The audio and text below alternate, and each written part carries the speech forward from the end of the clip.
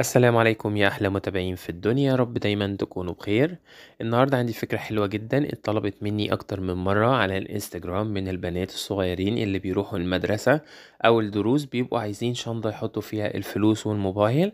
عايزين شنطة كروس صغيرة تكون ملزوقة ما تكونش بخياطة. فطبعا البديل بتاع الخياطة هو اللزق بمسدس الشمع.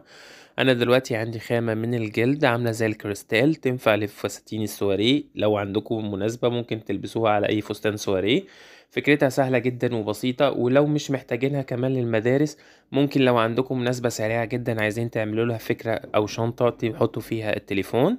مفيش أبسط من كده فكرة ومسدس الشمع هيلزق مع الجلد كويس جدا. وعن تجربة دوس بقى دلوقتي like حالا لأن أنتوا ما بقيتوش تدوسوا like خالص وكمل الفيديو للآخر.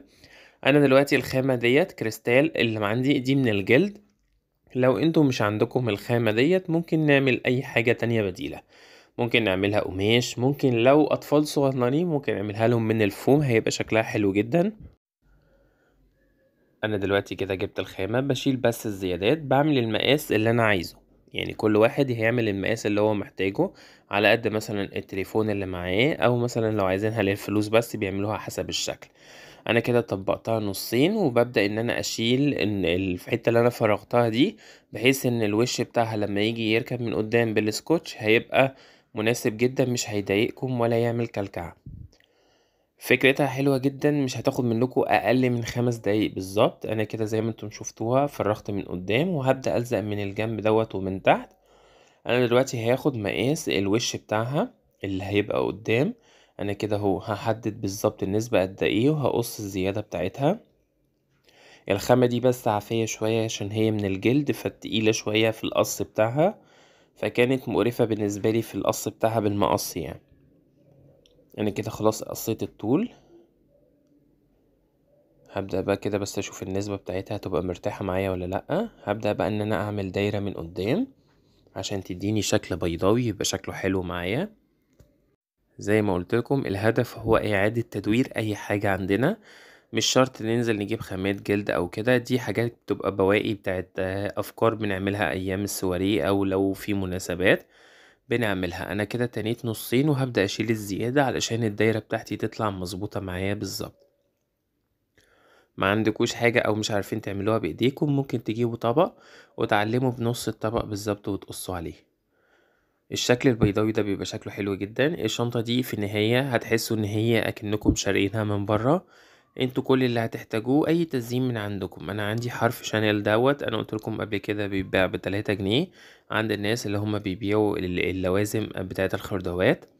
أنا دلوقتي عملت كده دراع للشنطة من نفس الخامة برضو. قصيته برضو سوى المسطرة. مسطرة طبعا بتاعتكم بتبقى تلاتين سنتي تقريبا عرضها حوالي خمسة سنتي. أنتوا بتعلموا العرض بس بتاعها الخمسة سنتي ديت وبتاخدوها على مسافة طويلة. أنا كده بلزق بالشمع كويس لازم ألزق أكتر من مرة معايا علشان الشنطة تكون محكمة جدا. الناس اللي بتقول الشمع ما بيلزقش كويس بالعكس الشمع بيمسك كويس جدا أحسن من الخياطة كمان خاصة مع الجلد. وعن تجربة أنا بقول لكم لما بقول لكم على حاجة بتكون فعلا أنا مجربها بصدق. أنا كده بعد ما لزقت بشيل بقى أي زيادة معايا عشان الشنطة تكون متساوية معايا ما يكونش فيها أي ديفو. لو حسيتوا إن فيها أي ديفو حاولوا تظبطوه بالمقص وترجعوا تعيدوا عليها تاني باللزق. هو ده ميزة اللزق إن ممكن تفكوه. أي نعم هيعمل أثر من جوه بس مش مشكلة. كده برضو من تحت ببدأ إن أنا ألزق. أهم شيء أضغط كويس جدا علشان الشمع يلزق. الشمع مجرد ما بضغط عليه مرة واتنين وتلاتة كده بيلزق معايا. برضو أي زيادة من تحت كده بشيلها علشان الشكل النهائي للشنطة يكون شكله حلو.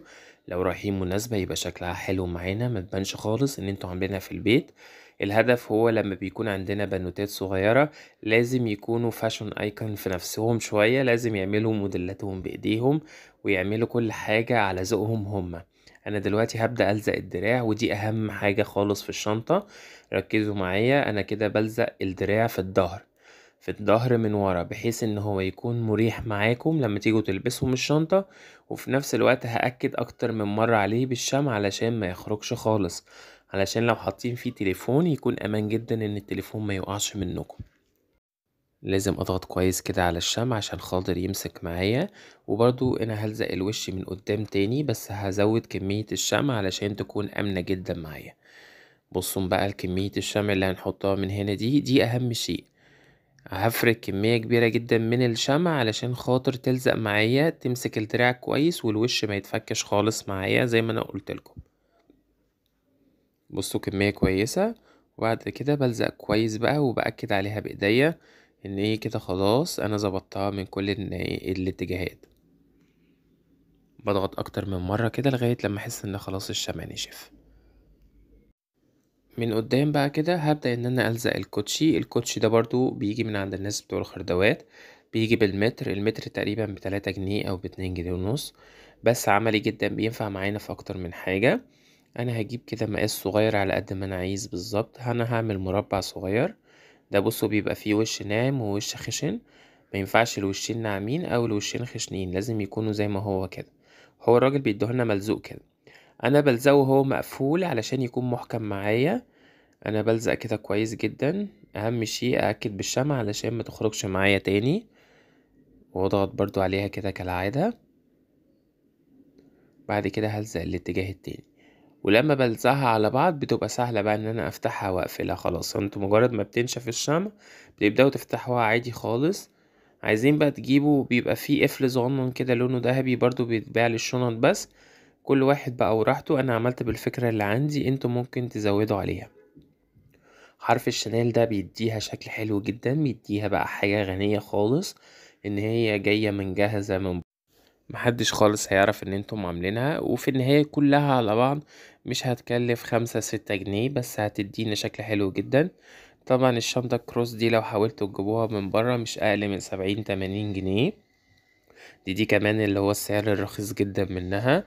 ففي إحنا ممكن نعمل في البيت حاجات حلوة وتكون يعني مش مكلفة وفي نفس الوقت تدينا شكل حلو. أنا عندي اللولي النص ده برضو المتر بتاعه بخمسة جنيه تقريبا بس بيدي برضو شكل قيم جدا للحاجة. فأنا طبعا الطروف ديت مش عايز أسيبها كده عايز أخليها شكلها أحلى شوية. فببدأ إن أنا ألزق عليها اللولي النص ده زي ما أنتم شايفين.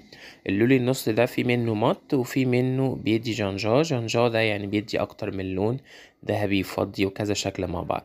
ده اللي هو جانجا علشان خاطر يليق مع الخامة اللي هي السواريه. لأن الشنطة دي أنا عاملها البنوتة هتروح بيها فرح سواريه.